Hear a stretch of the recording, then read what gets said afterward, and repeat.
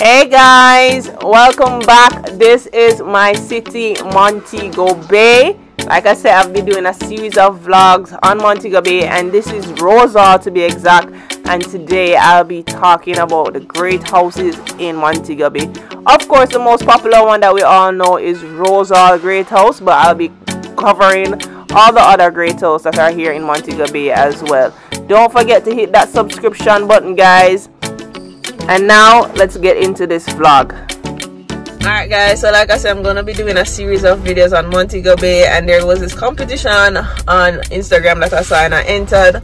And basically the competition is one where you showcase jamaica through your eyes. And you know they you submit some pictures. They pick 14 finalists so each person is assigned a parish uh, they, they gave me St. James. I'm going to use this opportunity as well to go around St. James and get some footage. Right now I'm on my way. Oh, and they give you a car. They give you one of their cars to drive around and get the pictures and you have to do it within 24 hours. I it was ATL that's doing it so I'm on my way to Island Routes right here in St. James to pick up my car Jesus Christ right, so my sister is dropping me off to pick up my car, and I have some of my some of my good friends are gonna come up and down the place with me like they always do, so we can get some footage and get some cameras, get some cameras, get some photos.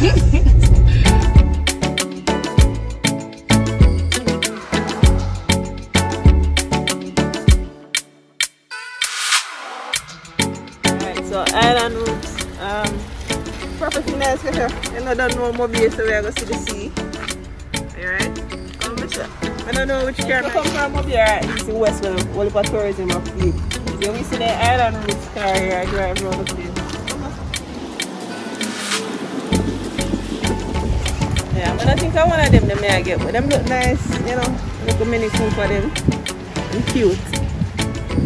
And well established, nice and everything. Let's go inside.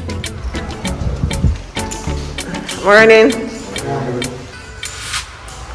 Yeah, and you're clean. That's nice. Oh, I made this for the day. Alright. Too bad. Talk to me nice. And I'm not much of a KF and I've never driven one, but you know, ATL that them have, so ready. So this is this is what's it name? This is Richardo from Enterprise. Not Carter, guys. Chardo. Get it right. Alright, so he's gonna give me a run through the vehicle. Alright, so your vehicle comes with a spear. A spear, alright. Respective tools and everything. Mm -hmm. We do a quick walk around. Normally we call it a trunk to trunk. Um, when renting from Enterprise, we definitely do not charge for everything. Mm -hmm. We have what we call um, a damage evaluator sorry mine got damaged but it's the size of a golf ball anything smaller than the size of a golf ball we don't charge fortunate for you. Your rental comes with full protection so there's no liability to you. No liability. Hear that guys? We like that. All right there are a couple of things that are on the unit. Mm -hmm. um, they have been pre-checked already scratches such as this. Your contract has already been marked off. All right left and right bumper has scratches unfortunately. That doesn't hinder the unit. From driving and performing up to standard so those have been pre-checked. What is not pre-checked i'll mark on your contract manually if something does occur on your trip. What that means is when you return tomorrow you'll spend an additional 10 minutes to tell us what occurred. Yeah. And we'll tell you to have you guys have a day. tracker or have a dash cam? No dash cam unfortunately. But you have a tracker? Yeah the units are definitely tracked. Oh, okay. All right. All right so this copy is yours. Alright. Papers for the car in the glove compartment. You get it on full, you return it on full. Alright. We are the Jamaican um, road code, so be safe on the road. And thanks again for choosing Enterprise. My name is Richard. Alright, Richard, thank you. Alright, come on. Well, time for me to pick up my combo log them and go for La La. Woo! So, first stop, after one of the many stops, we're going to Rosa Great House. I feel like people always mix up um, Annie Palmer and Rosa, which were two different persons. and you know everybody kind of know the story but i'm gonna tell you guys the real story. So we're on our way to Rose Hall Great House and I'm gonna be doing all the other Great House in Montego Bay. So Roehampton Mount Pelion um, there's one up by Greenwood too. Uh, to be honest I don't really know much facts about that one so I'm actually looking forward to go to that one and I'm gonna see if I can find any remnants of the Kensington estate which is unlikely because they burnt it down. So guys i'm going to be talking about the great houses in st james in this vlog. First up is rose hall you see at this stoplight right here there's numerous accidents that happen out here right here in montego bay and a lot of people think it's because annie palmer ghost is still lingering and all of that but in all honesty people just don't obey the traffic light now today i'm to tell you guys the story of annie palmer as well as rosa so you guys can know the difference between the both of them right? So there was rosa and then there was annie palmer right? Now this property sits on 6,000 acres of land and as you can see from this drone shot guys be sure to follow Look More Travels that it's a big big big property. Like you can see the driveway it's a long long driveway. Just go all the way up to the great house which is right there. Now like I said I'm meeting up with my friends right? Park ATL care and everything and I met up with my friends. Now, the story, how the story go, there was Rosa. Rosa was the first mistress of the house. Rosa got married, and when she got married to her hus first husband, Fennin, he had a dream of building a grand house, right? So he set out, he bought the property right here in St. James. Look at this view, guys. Oh my God. And he started to build the house. However, six months in, he died. But you know, good girl Rosa that now stop her. So guess what she do? She remarried. After she remarried, the second husband brought the vision to life. So the vision that the first husband have, Mr. Fennin, the second husband, his name was George Ash. He brought that vision to life. Now, unfortunately, they don't allow for you to do recordings there, so the rest of the clips are just pictures put together, so you guys can have an idea of how inside is. Anyways, like me say, Rosa's second husband did, but that not stop Rosa because Rosa is a good girl. So Rosa remarry again. She remarried for the third time. She never liked that husband. But you know, that not last no time either. That lasted four years and then she got married for the fourth time. She was 45 this time. And when she got married for the fourth time, she truly loved that man and they had beautiful years together. And then you know this time he died first this is a picture of rosa right this is rosa when rosa died you know everything was left to her husband and then the husband he died afterwards and he had two sons but none of the sons wanted it and then he gave it all to his grandnephew and his grandnephew came and claimed all of it 20 years later. Now when my man come in and jamaica and ah, see all of this because I england him come from and i said wow my man said, Well, me need a nice pretty thing by my side. So that's where Annie came into the picture. He got married to Annie. Annie was an orphan and he married Annie when she was 17 years old. Because she was an orphan, it was said that she was raised by a lady who practiced voodoo.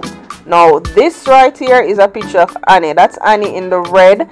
And they say that this uh, the tour guide told us that the lady in the red, that's Annie, and the the children around her was painted around her because Annie didn't have any children. Anyhow, how the story is that Annie did have multiple lovers and she did get one of the slave lovers to kill her husband. And even after that she remarried twice right? And she had multiple slave lovers. This is annie's bedroom. This is where it all supposedly happened right? This is one faint chair. Me so tell you about the chair right? Stay with me. Now if i never in the bedroom right that's everything happened she had a dungeon, right? And it's understanding that the slaves would come up through the dungeon and she sneak them in and whatever, and she do all what she want to do. So at the dungeon, this. Anyway, she had this one lover. His name was Taku. Taku did really love Annie, but then Annie did have her eyes set on this guy where he come from England. But that guy apparently loved another female slave. So guess what Annie do? Annie killed the slave there, right? She never busy. She killed the slave there, and then afterwards him get just one bar killing after killing. That's all I mean no everybody end up a kill each other whatever. They said that Annie got strangled in 1830 is what they say. And her remains is on the property. No? Right? Stay with me. That's what they say. And this is Annie's tombstone like I said, she and Taku did practice all of her voodoo, and some people come and they say that her spirit wasn't in it. Oh, sort of go wrong, come run. I don't know. One last look at Annie, surrounded by kids that she didn't have, right? Alright, I've been showing you guys a lot of pictures, some stuff that I want to talk about. So this is Annie's bedroom, right? And that chair in the corner was a faint chair. So apparently anytime Annie wanted attention, she would act like she's fainting and the chair was there so she could fall on it right? So it was a faint chair that was always positioned right there that would catch her every time. Because you know back in the day they used to wear those corsets so they would faint all the time. So she would fake faint whenever she want attention and everybody would just run come up there to her. So that was her fainting chair. This now was her toilet. This is what the toilets looked like back in the day. And when she done handle her business right? And he pulled the rope here and somebody would have come come change the thing. Can you imagine that piece of slackness? And she even bathed with hot water. This was what they used to heat up the water because you know she can't bathe in a cold water. This mirror it is believed that people took many pictures in the mirror and they saw a ghost and they believe that ghost was Annie. Took a picture in the mirror, I never see Annie, but anyways, this was a bucket that they would carry water in and guys it's so heavy, like the bucket is so heavy. And this is what they used to store water in so they could wash their hand before they had dinner. Right, so they said somebody strangled Annie and that Annie died in 1830. Now, it was two years after this that they had the massive Christmas Day rebellion where they burnt a lot of the great houses. However, this great house wasn't burnt, and it said it wasn't burnt because the slaves were afraid of Annie's spirit, so nobody went over there. But on the flip side, right, they also said that Annie left the estate in 1830, but she moved and she lived in somewhere in Anchovy in 1846, and that was the year that she died. So again, you know, a lot of folklore. I don't know how much is fiction, how much is true, but yeah. Now, while we're in the dungeon, we're looking at a lot of different pictures, and one that stood out to me was this one. It was titled "Slaves in a Bar." Now you see two person on what looks like a pool table. In my head, I'm just like, was pool table around back then. I don't know the accuracy of this picture but they have it as these were the slaves in the bar. Somebody came and drew it. I, i'm really on the fence about it.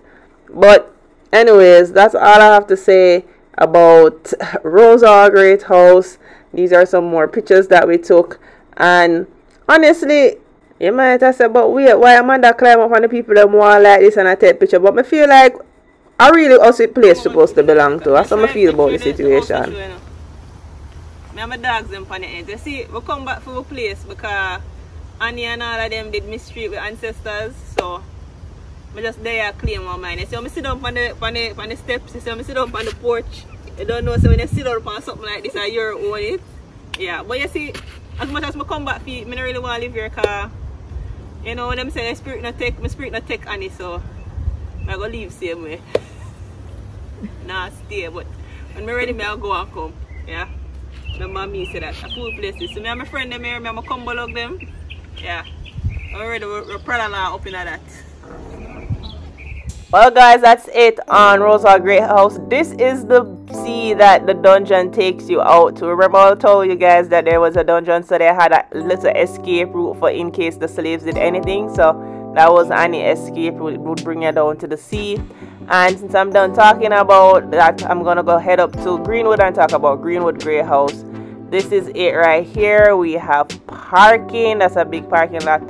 And I don't think a lot of people know about this great um this great house up in Greenwood, which is on the border of St. James and Trelawny.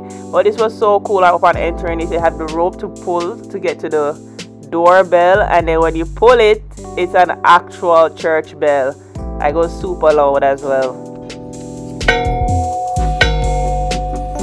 Anyways, after ringing the doorbell, you're greeted by someone and they bring you around. The tour is 20 US or 2,800 Jamaica. That's the price for local. It doesn't get any cheaper. I thought it was a little bit pricey, but this is the property right here, and this is the actual great house. Now, this great house belongs to the Barretts, and they owned over 8,400 acre of land. And remember back in the days, you know, guys, that um, St. James included Trelawny and Hanover. So St. James was pretty big. So they actually had the largest estate in St. James, right? This is their crest right here. Now, if you look closely on that crescent, you see that there's a water pump, which is irony. Remember I said in 1831, they were burning a lot of the plantation. So these these plantation owners, they were prepared. They had water hoses, which were made from leather and a different um, tongue right there to, to store the water. And they had the water pump right at the front of the house. So if anybody came and attempted to burn down the house, they would be prepared just like that. Now the Barretts they had over 2,000 slaves, and this one of this great house along with Rose Hall Great House is still standing. Now this great house it said wasn't burnt during the rebellion because these owners were good to the slaves. At least that's what they're telling us. While Rose Hall Great House wasn't burned during the Christmas Day rebellion because people were afraid of Annie's spirit. So these are the only two great houses that still quote unquote standing in Mobay, right? And this is a picture of one of the Barretts. Um, it was painted and it's an original piece. Now, unlike Rose Hall Great House, this great house really shows you how the slave masters, quote unquote, how they lived right? Because a lot of the original pieces are still there. It's like an antique museum this great house as opposed to the other great house now Rose Hall great house which is really and truly like more of a little story you know? Because it's all about Rosa and her four husbands and all of them died and it's about how Annie mistreated the slaves. But you know everybody loves a good story. Now there's some cool antique or vintage pieces around the this house that I'm gonna show you guys. So this one right here was a photograph and the reason why this photograph is over here is that they said that the woman at the back who was apparently a house slave actually died two years prior to this photograph being taken. And they said initially it was a they thought it was a double barrel photograph or something like that but they checked it out and they said no that's a ghost. Now it's so funny that this house slave showed up in this picture because remember I told you that at Rose Hall Great House the house slave that was there attempted to kill Annie by poisoning her but it never worked out and in the end they killed her and then they beheaded her and they had hung her head on a stake at the front of the plantation as a means of a warning to be like listen don't mess with me. So like Annie Annie was very cruel right but yeah this was one of the many photographs that i was cool. Some other cool finds that was at this great house. This little box right here is what they kept tea in. Tea was a hot commodity back in the day lol pun intended. And they had to keep it on a lock and key. I'm just so amazed by that. That big box is just for that. And this is a marble for original Jamaican marble. I don't think I've ever seen that anywhere else. All the floor, if they just polish it really, really, really good, it shine, you know. Again, they had a lot of paintings of all of the different Barretts um, on the property. Yeah, in here was the dining room, I believe. Um, now, with all of these great houses, there's no kitchen inside, they're outside, and you know, I'm gonna touch on that and tell you why shortly and this right here is a fireball what I used to use to ward off the mosquitoes and keep the food warm. So they had one right in the uh, dining room which I mean makes sense you know you want to be comfortable eating. Now the room so this was one of the rooms that they had. Again a lot of it was Victorian furniture. Um, the rugs were probably silk or from Persia or something like that. Now the, the owners, the current owners of the estate, they live in these rooms, which is, is kind of creepy, but you know, to each his own. Some other cool finds this is a silk press, which I guess is kind of just like an iron board or an iron that they use to iron their clothes. So, this is what they used to use back in the day. I thought that was a cool find and even back in a way where you didn't have to clock in for work. So this is what a punch clock looked like back then. You would boy I may not even know but I was a punch clock. And I'm just like wow. That's crazy. That's crazy. They also had a love seat. Apparently this is a love seat for when you're courting someone anybody that you like or anything but you guys couldn't sit and face each other and some of the love seats would curve again so a third person could be there and that third person would have been a chaperone. What? Listen these things i don't know but they're just so cool. This is a telescope. Um this is a, the pink room i mean for obvious reasons. And they had a little crib. Now whether this crib was back from the 19th century or from way back when i'm not even sure she never really mentioned much about the crib but i thought this room was pretty cute. Now if you realize all of the rooms have at least two queen size bedding nights in it so it seems as if though everybody was in one room so like the parents the the daughter the baby everybody. This room was the blue room and again they have two beds one in each corner. So unlike the Rosa Great House where everybody had their own space like one bed per room like this um Great House had two beds per room or at least three you know? And everybody had easy access to this balcony that had the best view that I've ever seen. Now you could do a full 180 and see the entire horizon right? So you, you can see it. If you look far out into the water and you just look way way out. You can see the edge of Falmouth right? All the way out there so. And you know you just go right across the entire horizon a full 180 the full curvature. And I mean you know all of these people when they're building their great house they build it on a hill for an amazing view. And I think this one this one is the best view I've seen thus far right?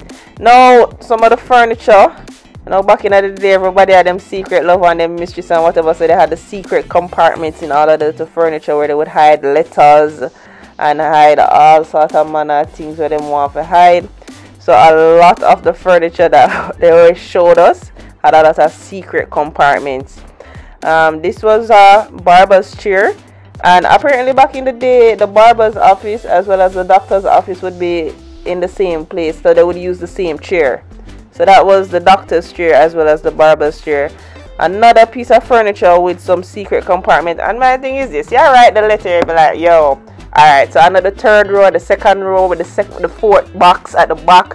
Cause I mean, let's be honest, how do you even know which one of these compartments to look in for the letter? Right? Because even the secret compartment had a secret compartment. But I guess that's what it was back in the day. I mean not much has changed to be very honest. Everybody had them secret love and them mistress and all of them of our side chick. That's what we call it now these days. Now this piece of furniture was a chair that fold over into a step so you could reach like the top books, the top shelf for the books. And this bookshelf was um came off of a ship and in different parts of this bookshelf they used to store and hide liquor.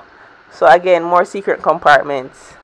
They also had a lot of ancient maps so this was an old map of england. Like the cartographer back in the day was very very good because this is another one of africa which is very accurate when you look at it in fine details right? And this was a picture of richmond hill which is right in uh, montego bay across from Gobey high. And these are some old carriages that they have. I mean like it would have been dope to me at least if they would have like fixed up some of these carriages and probably offer people like a tour around the property in these carriages you know kind of more historic and you know the vintage feel. But I don't, I don't know look how small these seats are like i'm I don't even know how they held in them because remember they used to wear the corsets and those big iron stuff so I don't even know how they would travel in them. And then this one was a bit different I'm not sure if the seat was supposed to go down but then it had the glass the glass case at the back. I don't know what they would bring in that but yeah I thought that was cool as well. Some other cool stuff around the house that they found. I think this was what they call a chaplain or something like that that the mistress would walk around the house with on their waist. So she would have a scissors on it a thimble you know something to keep needles and thread and also a little pocket to keep notes so they can easily write stuff on it and them something there so I mean, imagine I walk around the house with this. Everybody I know say I come because it's gonna make beer nice and them little ways there. Some other cool finds. This was a plug, like this is a wooden plug. Like I don't even know how these stuff worked back in the day, but that's that's pretty dope if you ask me. And these were horns that they used when they went pig hunting. I don't really know how that would work, but yeah. And these are headlamps. I think these were like lamps for like train or to help the ship that was coming in. I don't know.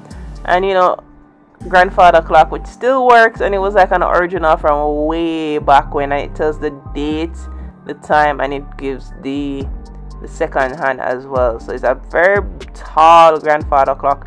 These are the oars um, that they used to have for their boats when they're ready and they go out. And this is a meat hanging table right? That they would put the meat on. Now outside is where the kitchen is. And oh and this was the bathtub for the baby i would assume. So clearly they had children around because they had the crib and now this is the baby bathtub. But that was a meat hanging table and like i said we're outside. So that's where the restaurant is and it would bring you down to the kitchen which is outside. And the reason for that is because the slaves were the ones that prepared the food. That's the kitchen right there. And you know that saying whistle while you work they have that saying that goes whistle while you work so that the slaves wouldn't eat any other food. So like they, they would hear you whistling as long as you go along the corridor to ensure that none of the food is in your mouth.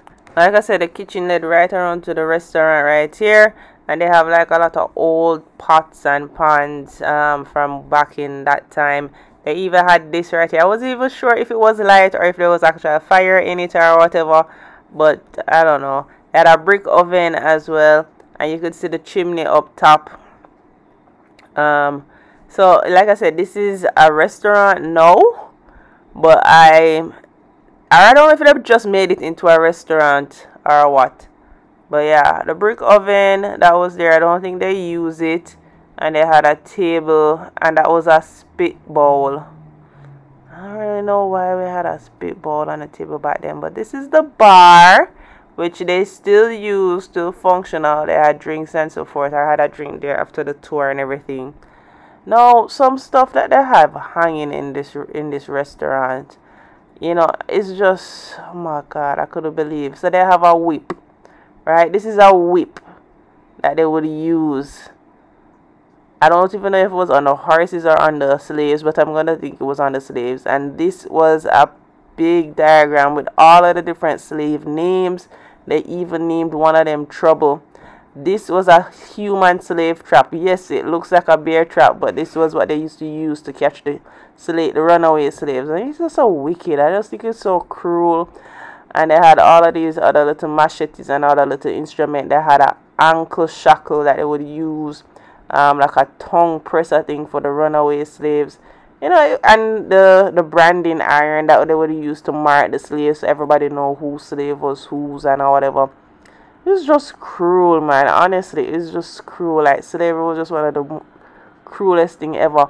They had this right here. So this is what you could use to get um, bear. And again to prevent the slaves from stealing any of it. When you pull it makes that noise. So it's like a bell pull.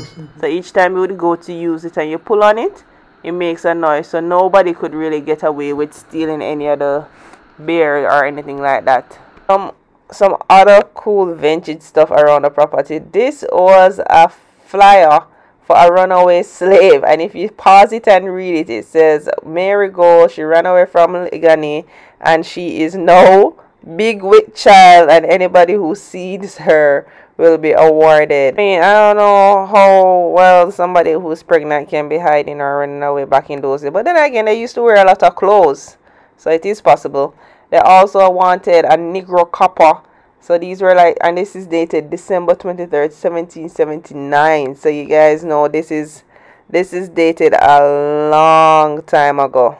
Other stuff included a sundial. This is actually the first time I've ever seen one in real life. They had these bottles which were from all over. Some were from a company right here in Jamaica, in Kingston, Jamaica.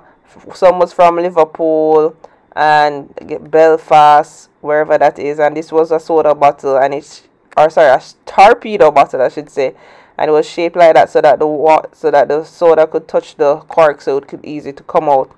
They had a lot of musical instruments, a lot of polyphones were around the house.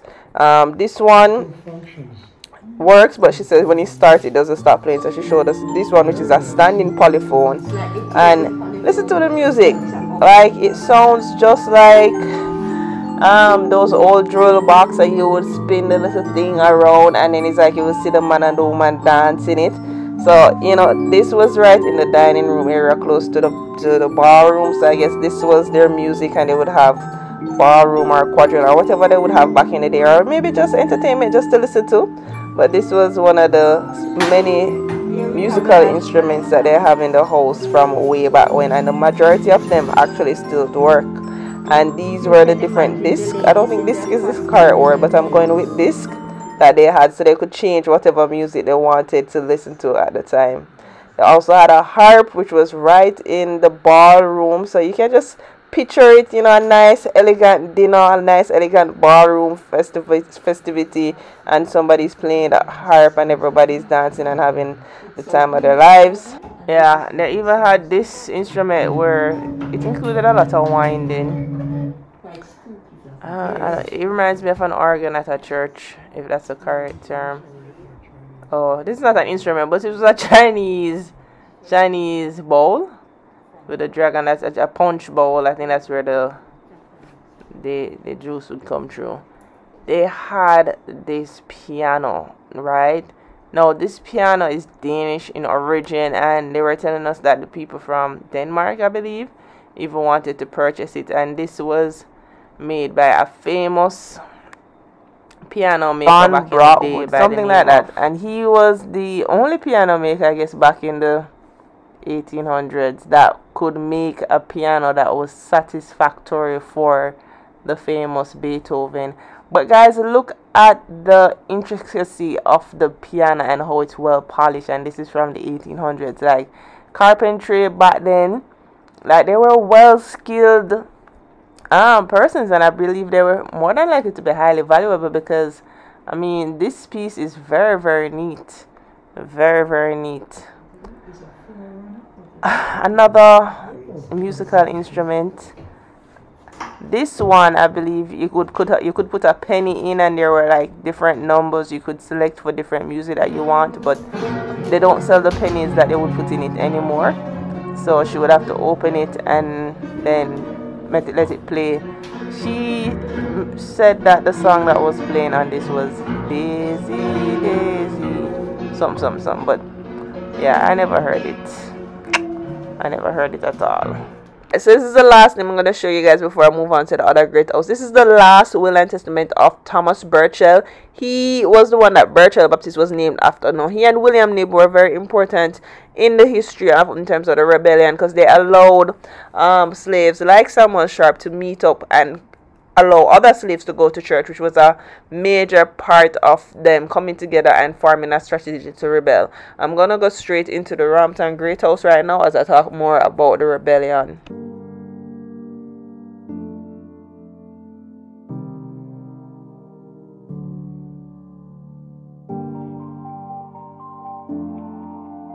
This right here is a drawing showing Roehampton Great House and its slave village back in 1825 now this is what Roehampton Great House looked like. This was from last year when I did the video, but this is the second Great House. The first one was burnt down in the Christmas Day Rebellion or the Baptist War, which was the largest slave rebellion in British Caribbean. It was led by our most honorable Samuel Sharpe, and it lasted 11 days, and roughly 60,000 slaves were killed. So this is a drawing again of the destruction of the Roehampton Great in 1832, and this, yeah, this is the same drawing. You saw what it looked before. Now, what started out as a passive resistance by refusing to work on Christmas Day and demanding more free time and work wages eventually led into a rebellion on Monday, the 27th of December, which started with setting the Kensington state on fire, and so all the other plantations followed suit. Now, prior to this, the abolition of slavery was being debated in the British Parliament, but was deliberately being delayed. However, because of all the persuasion, they abolished slave trade in 1807, right? Now, as we all know, Daddy Sharpe was a deacon, and so he had some amount of freedom to travel the island, especially on traditional holidays for religious services, which is why Burchell Baptist is so important, like I mentioned earlier. And he used this opportunity to plan and discuss the revolt and rally individuals. Christmas was the perfect day because most of the plantation owners were away for the holiday. During the rebellion, 14 whites were killed and over 200 slaves were killed. The retribution continued and close to 300 slaves were tried and hanged, including Most Honorable Samuel Sharpe. And he was hanged on May 23rd in 1832 in what is now known as Sam Sharpe Square. And before that, it was called Charles Square. P.S. Considering that he was, you know, hanged on May 23rd, they probably should have named um, Labor Day Sam Sharpe Day, but that's just a thought and this is it. This is sam sharpe square once known as charles square right in downtown montego bay he once said i would rather die upon yonder gallows than live in slavery. I don't know what yonder gallows is but it sounds very poetic right? And he was made a national hero on march 31st 1982 if you check the $50 bill you see him right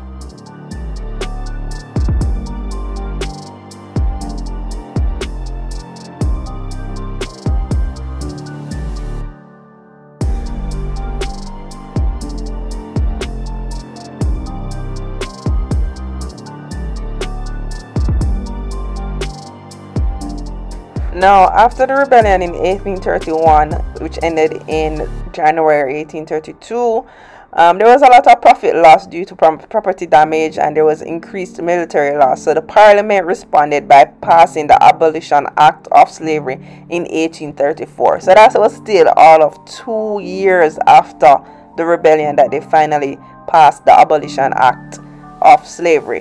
Now, the emancipation celebration were short lived because Following that, they in- introduced what was called the apprentice system, which was pretty much people would work regular hours, 45 hours a week, right? And they were paid, so they would work 45 hours on wage and they were paid for any hours that they worked in addition. So that's like me working my regular work week and then I only get paid for additional hours, which was still like slavery, just the same, right?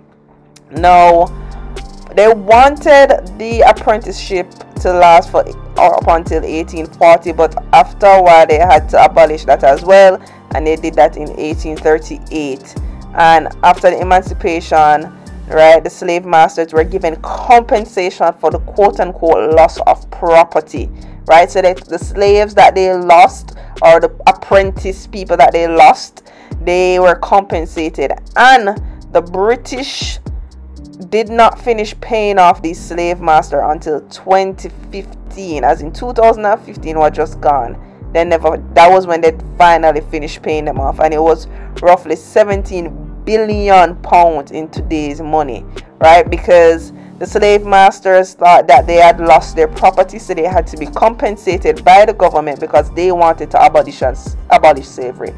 And this right here one of the guy that was there he saw what was on the tombstone for one of the old slave masters. It says, Sacred to the memory of Malcolm Beveridge, who departed this and on 19th of December 1799 at the age of 44.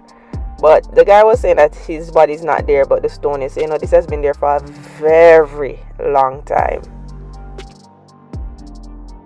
Now, another estate is Mount Pelion Estate, which is close to Roehampton, but this is an old picture of what it looks like but i was unable to find any remnants. Um, at the time i went it was raining. This is actually the church that they directed me to. They were saying that they thought this church was where i was talking but this isn't it. Obviously this is an old church because it's dated 1847 um, but yeah that's pretty much all the great houses in st james right I think there's one up by Cinnamon Hill that I never went to, but if you guys know any more, you know, you can DM me on Instagram and also stay tuned because I'm going to be talking about Doctor's Cave as well as Harmony Beach Park in the next vlog. And as always, thank you guys for watching. If you made it this far, a special thank you to you guys. I truly appreciate it.